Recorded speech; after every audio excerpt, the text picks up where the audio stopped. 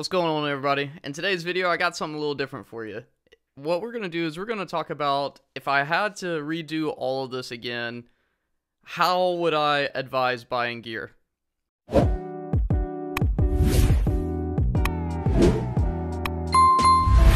So this whole video is going to be broken up into three sections. I'm going to show you gear that I would recommend for the absolute beginner.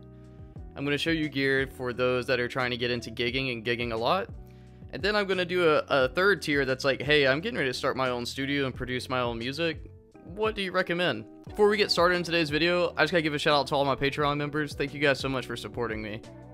Also, I have released my first album today, so if you're watching this, consider checking out my Spotify. My artist name is the same as my YouTube name, Damion Andy. The name of the album is School Years, and it's basically a collection of all the songs that I've written while being a student at Full Sail University.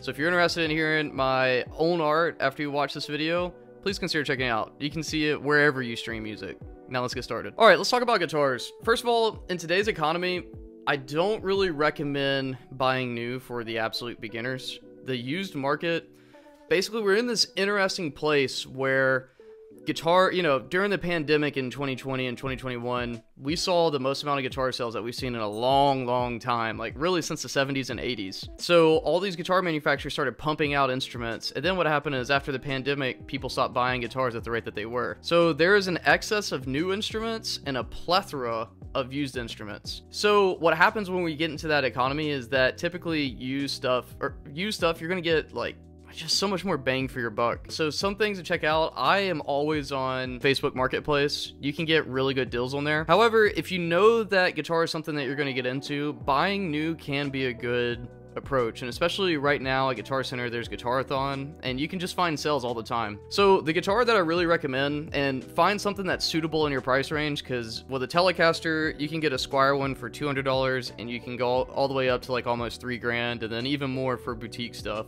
The one that i really recommend for most players and this is a guitar that'll get you by one starting out and it's also a guitar you can grow with to play gigs and also i mean i record with this thing all the time. So this is a made in mexico Mexico. Well, it started off as a made in Mexico Player Plus top. It's a Guitar Center exclusive, so it's got like the flame top that's not typical of the Telecaster. What I've done with my guitar and kind of give you an idea of why I think Telecasters are the ultimate guitars, one, you can make them do whatever you need them to do. So for example, I changed the pickups in this uh, and the stock pickups are great. I think the bridge pickup is a little weak if you want that twang, but uh, a Telecaster and Drop D, find me something that sounds better. you just don't. I, I, got into the Telecasters when I started playing in a country band, and we were playing in Drop C and D standard. And my Telecaster, I was just like, this is the ultimate guitar. I think like really it's a toss up between the Telecaster and a Les Paul, the two grandfathers of guitar pick one that sounds best to you, but I really believe that the Telecaster is probably the most versatile instrument, and it's not going to kill your back after a night. And trust me, my number one guitar is a Gibson Les Paul, so I'm telling you this from like a utility perspective. You just can't beat a Telly. So to give you some ideas of how an instrument can grow with you, I bought this instrument brand new on sale. I think I got it for like 550 bucks. Uh, some of the things I've done since then is the only thing that's really original in this guitar right now is the pick guard and the body. Everything else has been changed. So the pickups that I did is, uh, these are the Fishman Fluence pickups. Again, these are kind of expensive pickups, but I'm recording a lot and I just, I like having versatility. Fishman pickups are the best Telecaster pickups I've used, uh, and I've used a lot. I would say second favorite to these would be like the uh, the Seymour Duncan pickups are really good. Any of them, and also Lollars. Lollars, and then uh, I have Suhr pickups in my headless Tele, my Strandberg, and I, I dig those as well. But these are they're noiseless, so if you're coming from humbucker world, you're not going to get the 60 cycle hum. It has two voicings, so what I tell people is while Fishman pickups are the cheapest or the most expensive pickups right now for single coil, they're really the cheapest pickups because to do what these pickups do, you would really need two guitars with two different sets of pickups, and you get all that in one because I, I, think I got these pickups for like 350 bucks and then I installed them myself. So if you don't know how to install pickups, you're probably going to spend like five, 600 bucks on these pickups because I had to like route wood and everything. But the other thing I did, and all this is done over time. Don't think that this is something you got to do all at once because if you see these numbers adding up, it's scary. But gas is a never ending thing. Just play to it over time. The other thing I did with this guitar is I changed the neck. This is actually a roasted maple neck. I got this on sale for like 200 bucks at a local guitar shop. And this is Fender's equivalent to like an Ibanez neck. It has a 12 inch radius. It's really similar to like a, a Wizard profile, like a Wizard 3 specifically, if you're familiar with that neck. Uh, it just has a little bit more shoulder, which I kind of play as a heathen and throw my thumb over, so it works best for me. And then the other thing I did was I put on locking tuners. This is like a $100 upgrade. And then I put a Graph Tech synthetic uh, string trees. say it helps with resonance. Sure. Uh, I just need a string trees and I mean, I, I went all graph tech because I also have the graph tech Bridge too, which is supposed to help string breaks and also tuning stability because it's all, you know, well lubricated. Uh, I did have to change these out from the stock because the stock one had a burr on it and it, it kind of, like, I would break strings on it, and I'm not a hard picker, so for me, breaking a string, I knew that had to go. Um, so if you start off with a Telecaster, you can get into a Tele at any price range, and you can upgrade it as you go. And I'm a big fan of upgrading instruments instead of buying more instruments. And I know that, you know, I say that and there's a rack full of guitars behind me, but I, that learn that lesson from me. I was the type of player that I would buy an instrument, and then it wasn't doing exactly what I wanted, so instead of modifying it to be that great guitar for me, I would just go buy another guitar. And I got myself in trouble in debt, so don't go in debt doing this stuff learn from me, please. But get you a good Telecaster and upgrade it as you need be. First thing I would always upgrade, and this is going to be true, I, we can talk parts and I'll show you some other stuff, but the first thing I would upgrade is the nut. After you've upgraded the nut, I would probably upgrade the tuners. Those two things are going to help most of your tuning instability. The next thing I would do is pickups, or really pots here where this connects. Most of the time they're using cheap pots. Get you a good set of CTS pots. You know, it's 250k for single coil, 500k from humbuckers. Don't overthink it. Uh, maybe a new switch.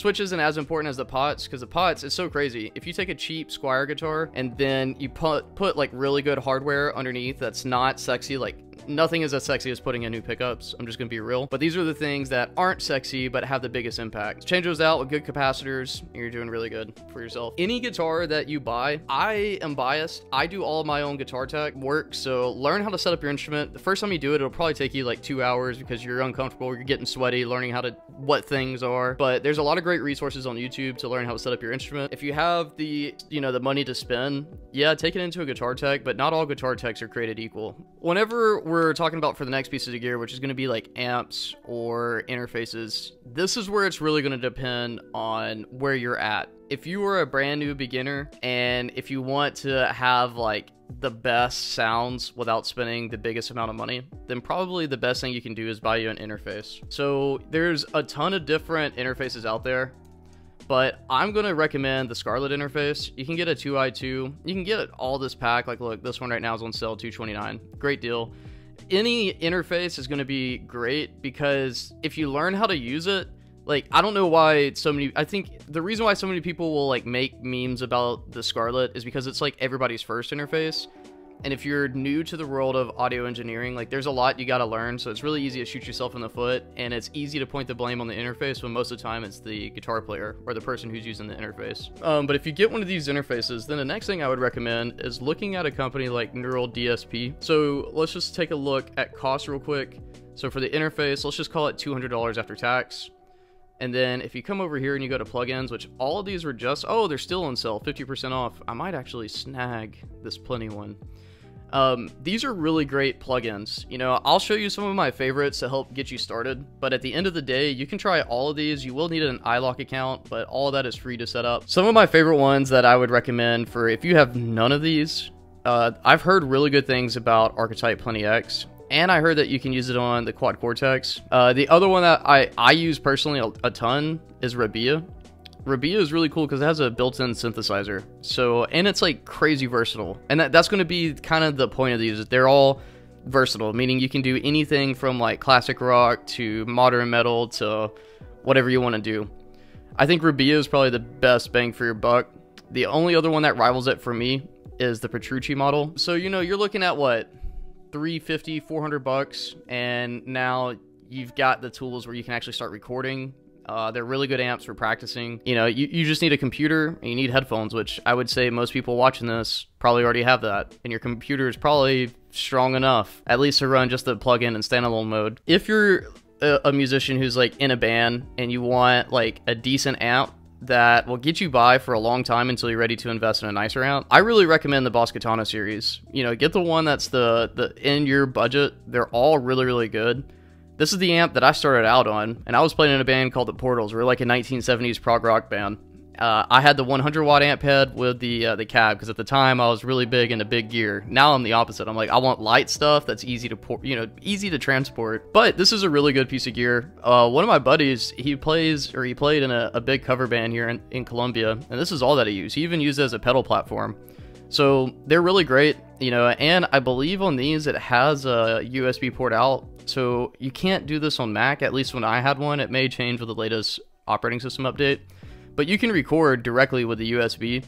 And there's like a, a, software suite that comes with it where you can really dial in your tone. And you can get the foot switch control. So I would really recommend getting one with an FC12 switch. It makes it, it opens it up for versatility. And it's going to sound way better than most amps in this price range. I mean, like, look, 229 and you got an amp that you can gig with. And this is loud enough. It'll, it'll put out enough. If you are a tube fan, I really recommend I mean, I have a deluxe reverb, a 1965 deluxe reverb. I don't think you can beat that for the money if you want the best tube roll or the best tube amp ever made. It's the most recorded amp in all of music history. So that tells you everything you need to know about it. But it is expensive. Like let's see what the deluxe reverb, I believe it's 1600 right now. Yeah, 1699. I have heard that uh, I've actually played through these, the Tone Master series. The Tone Master is basically their one-to-one -one replica of it and they're really good. Uh, and look, you can get them used for for a little off 2010 65 reissue. The only issue with Tube Gear, and really the reason why I've made the switch over to digital, is that you've got to you've got to baby them because tubes are expensive to replace right now there was a shortage. I don't know what the market's like right now because I'm, I'm all digital. I still have my deluxe reverb. I'll never get rid of it because it's just my baby. And every now and then I'll use my Tone Master Pro as a pedal board and I'll just run it straight into it. But that's an expensive rig. You know, that right there, that's almost like a $4,000 rig.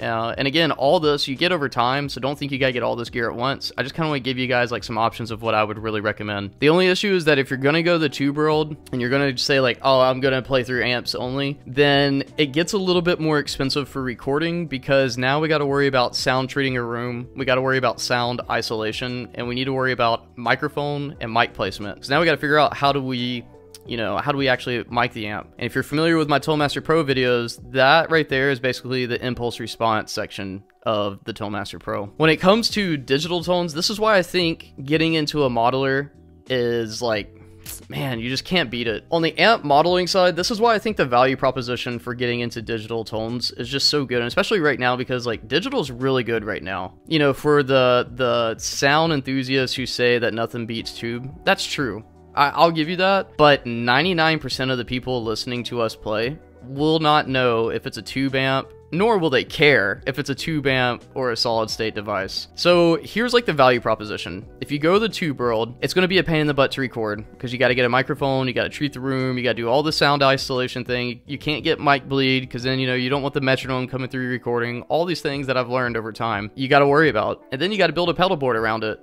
Unless if like all you want is a clean tone, which is great. Most of the time you want at least like a boost or a compressor. Like pedals get really expensive really quick. When you're looking at modelers, uh, I'm just gonna be real with you. They're all great.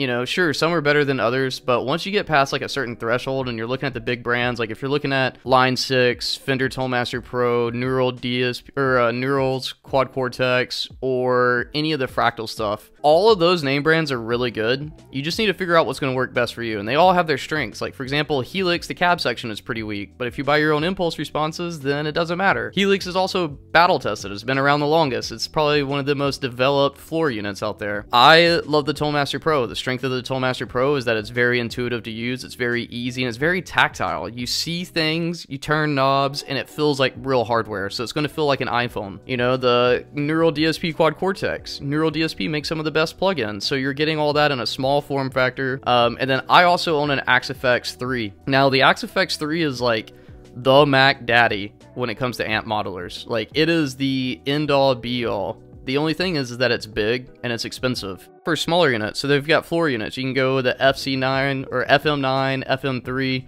Um, any of the fractal stuff is going to be really good. You just got to figure out what you need. And I think that's the hardest part, and that's probably why so many of y'all watch these videos because you're trying to figure out either you've got the gear and you're trying to learn it, or you're trying to make sure is this the right gear for me. And I'm just gonna be real with you. There's no one who can really tell you that. That's something that you just need to really sit back and think. Like, you know, here are some questions I would ask myself. Do am I wanting to play in a band and gig? Or am I wanting to just practice guitar? Or do I want to write and record songs, or do I want to do all three of those things? Because having gear that can do all three is also another justification to your wife of why you need to spend $1,700 on a modeler. You're welcome. I'm a big fan of going the digital modeling world because it does all this thing. It does all these things remarkably well. And if you get an FR cab to go with it, I really don't think you're missing out in the tube world. Yeah, you may not know what it smells like when tubes are cooking, or you know, you may not know what it's what it sounds like when a deluxe reverb is cranked. But to be honest, your hearing is probably grateful for it, and uh, it's expensive to have that experience. Go play someone else's gear, or go try it out at Guitar Center and be that guy. Do it. You only live once, baby. Um, yeah, and and the other thing too is keep in mind a budget. Whatever your goal, whatever your threshold is, here are the things you need to keep in mind one IO. Depending on what you're trying to do, depends on like the cables you need uh, and also the inputs and outputs of it. So like for me, not only do I record a lot of guitar, but I do a lot of MIDI work. I needed something that can also handle MIDI that had enough in and out ports so that way I can do things like run my synthesizer through my Master Pro so I can record it directly into Ableton or Logic. Also, because the Master Pro and the Axe-FX 3 have MIDI capabilities, I can control them and I can automate things so I can use that for performing my own music. Then I can also have that MIDI controlling things like a light show when I finally get to that place, you know? So for me, I have unlimited flexibility for my creativity, but I am also someone who's in the pursuit of music professionally and trying to do this is like my livelihood. So with that, you should go listen to my album and continue to support me.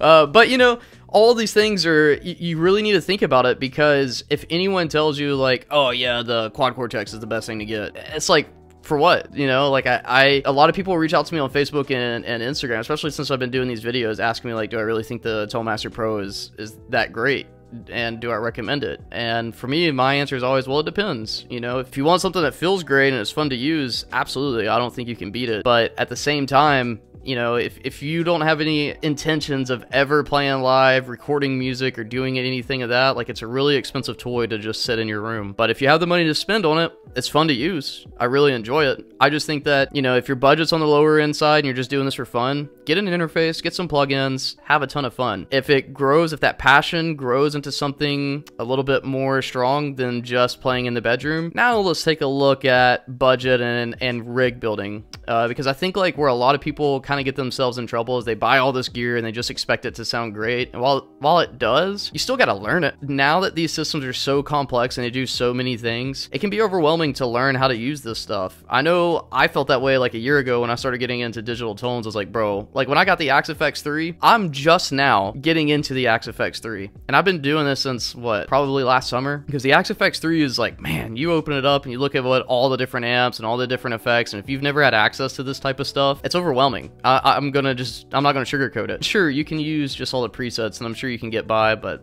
where's the fun in that? You want to build your own rig and make it sound how you're used to, you know? Yeah, I think that's all I got. I hope that helps you out. Again, you know, I would say that I would put more money into an amplifier than I would a guitar, kind of just like as an overall theme. Having better audio come out is more important than having a nicer instrument. Now, once you get a nice amp that's decent, now let's start worried about getting a better guitar or upgrading our current guitar. Uh, and again, it's always going to be cheaper to upgrade your guitar than to buy a new guitar. And so if you like your guitar, let me tell you something. There is no guitar out there better than the one that you love. I'm just going to be honest with you. That's an expensive lesson I learned. And I'm going to say that again. There is no better guitar on the market than the one you already love.